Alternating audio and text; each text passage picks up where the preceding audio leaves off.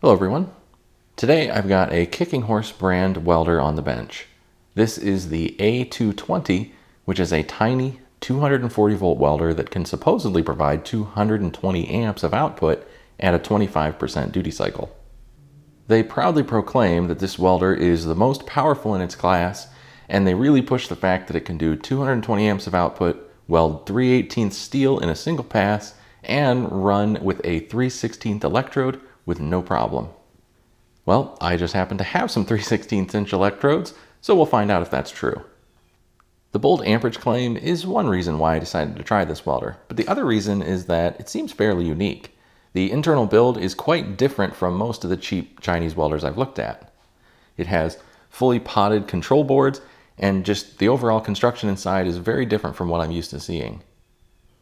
It doesn't really look like a 220 amp design, but hey, I'm content to be proven wrong, even if I don't expect to be. The single fan that's in there does push a surprising amount of air. I have powered it up already. And all the heat sinks and everything are designed to kind of create a bit of a wind tunnel design. And the capacitors are right down in that airflow, so that's nice to see. It has bolted connections, copper conductors, and overall there's really not much to dislike here. It is a pretty simple design. The input power comes straight to the rectifier and then from there into this uh, potted inverter board here.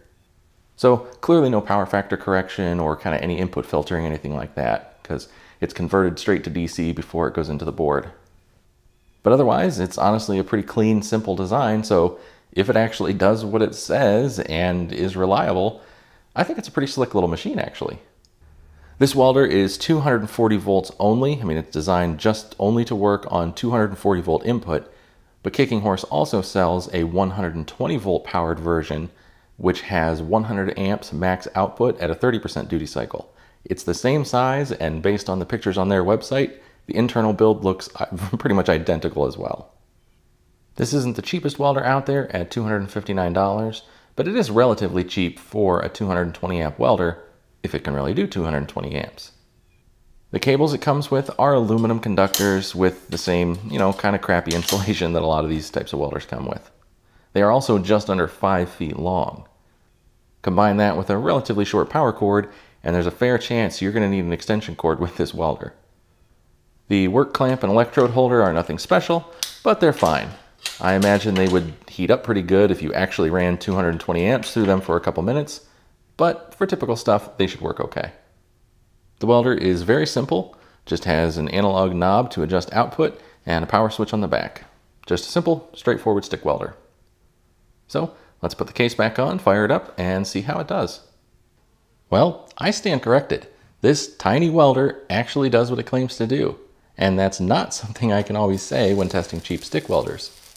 The first thing I did was crank the welder all the way up and grab a 3 16 7018. I figured, why mess around? Let's just go for it. And to my genuine surprise, it lit right up and ran fine. This welder actually puts out 220 amps. And not only does it run a 3 16 7018 just fine, but I was surprised at how easily it started. Some welders seem to have more difficulty starting a rod when maxed out, but this machine starts a 3 16 7018 as easily as it starts a 1 8 7018. I didn't push the welder for the full 25% duty cycle, but I did run a full 3 16 rod at 220 amps and had no problems.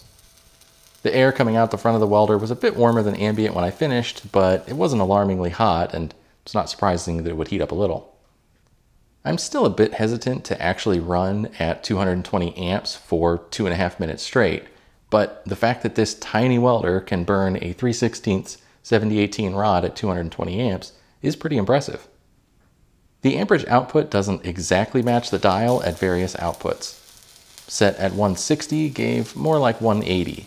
Set at 120, it provided more like 140. And set at just over 80 amps, it was actually pretty close. So it's not perfect, but it's not terrible either, and it will at least get you in the ballpark. Amp draw when maxed out is around 40 amps. For 220 amps of output, that's not too bad. A welder with proper power factor correction would draw less, but I've seen worse as well. No surprise, it runs most rods just fine. However, it doesn't do great with 6010. It's definitely not the worst performance with 6010 that I've seen. It does run it, which is more than I can say for some welders, but I still probably wouldn't recommend this welder for someone who needs good 6010 performance. For anyone curious, I did check the open circuit voltage of this welder, and it was 87 volts. Really, there's not a whole lot more to say. The fan runs all the time, and it's a bit loud, but not overly bothersome. The length of the cables is probably the biggest annoyance. The power cord is only 4 feet long, and the included cables are under 5 feet. But this tiny welder seems reasonably well built inside. It's super lightweight and portable, and despite the tiny size, it is actually capable of 220 amps of output like they claim. I can't say how well it will hold up long term, and it's not the very cheapest thing out there. But as long as it has the features and capabilities that match your needs, you could do a lot worse. So hopefully that was helpful. If you have any questions, let me know. As always, thanks for watching. Take care.